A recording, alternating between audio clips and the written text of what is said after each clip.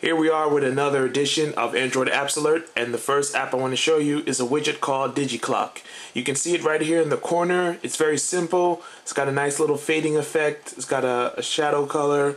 It's about uh, 1 by 2 in size. You can get it for free in the Android market. It's called DigiClock, D-I-G-I space uh, clock. There's a really great bookmarking service called Xmarks. What it does is store your bookmarks and Firefox on your computer or Chrome at home or Internet Explorer at work and then it syncs between all of all three of them through the cloud. Now the cool thing about this is now you can do it on your Android phone as well. It's not going to integrate directly with your Android browser, but it will bring up a list of bookmarks that you can save at any time. So let's say I have uh, bookmarks stored for my computer I can browse them from my Xmarks account and say, hey, I want to open this one up, and then that will go to my default browser app. Uh, another cool thing that you can do with this, you can set Xmarks to sync a specific folder on your phone. So let's say I sync my standard bookmarks apps. Now I can see something interesting on the web and say, hey, this interests me. When I add it to bookmarks, it's automatically going to sync up with my Xmarks account. So now I can go on my desktop computer and say, hey, what's that cool website I saw on my phone? Oh, it's DeviantArt because I can see it in my Xmarks account. This costs you $12 a year to use. That's right, only $1 a month. So sign up now. You can get a free test uh, trial version for two weeks. After that, it's going to be the $1 a month. It's called Xmarks and it's a really great service. Google Books has finally arrived. Uh, we've all heard the rumors of it and now we can see it in the flesh. And it's pretty much what you would expect. It's a standard reading app. Uh, you've got your night mode right here. If I want to change I just go to menu uh, where is it? Settings. And I can switch the theme to the day mode. I can also change the justification. Instead of being left aligned I can do right aligned. I can increase the spacing and when I go back oh, you'll notice now it's easier for me to read and you can change the settings based on your own preferences. Uh, it's pretty much standard what you would expect. It's got some photos in it here and there. Uh, it pulls from Google Books and it syncs with your online account.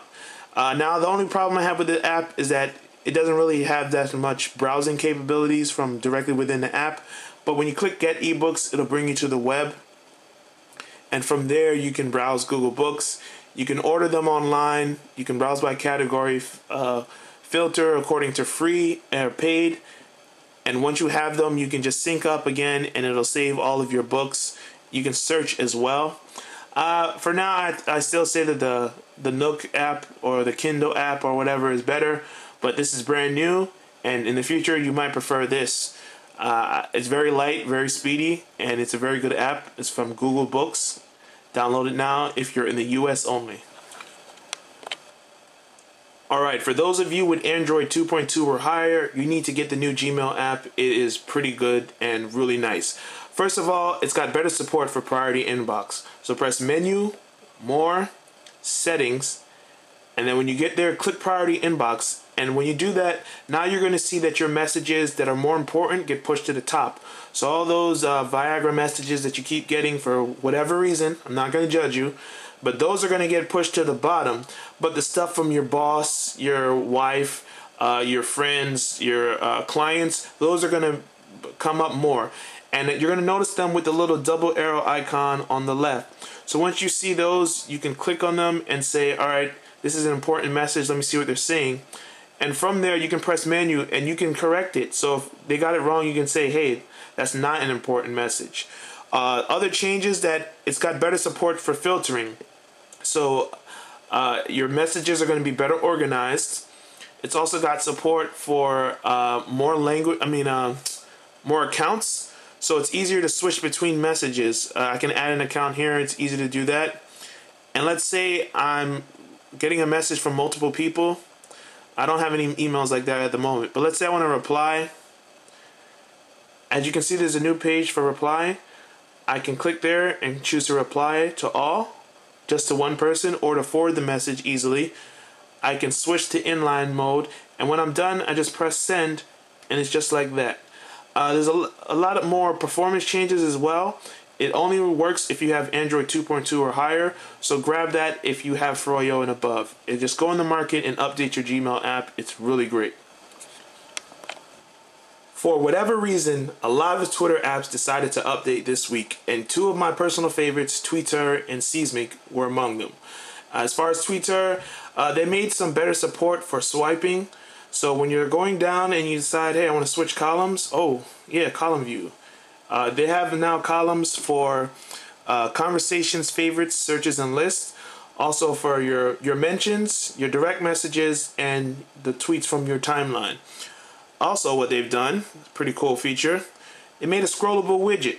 So if you've got Launcher Pro or ADW Launcher or whatever launchers out there that support scrollable widgets, you can now get 4x2, 4x3, or 4x4, and you can browse your timeline from the home screen.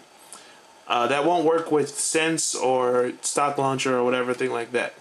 Seesmic, on the other hand, they made some UI changes. Small, but very nice, very good results. They got this top bar here. Uh, when you tap on it, it brings you to the top of your most recent messages. Uh, they changed the look of it a little bit. And the big thing that they did is they added Salesforce Chatter. Now remember, Seesmic supports Twitter, Buzz, and now Salesforce. So if you're in the enterprise or you need multiple accounts managements, or you just want a really good looking Twitter app that's simple but still does gets the job done, then check out Seesmic. At this point, I'm going to leave you with a little PSA to remind you that the Android market has switched its paid apps policy. You used to be able to buy an app and have 24 hours to decide if you're going to return it. Now you only have 15 minutes. So keep that in mind when you buy apps. Uh, you've only got 15 minutes to decide whether or not it's worth keeping. You might feel green like you love Android right now, but with that new 15 minute policy, you're probably going to be red and pretty ticked off. Android Apps Alert signing out.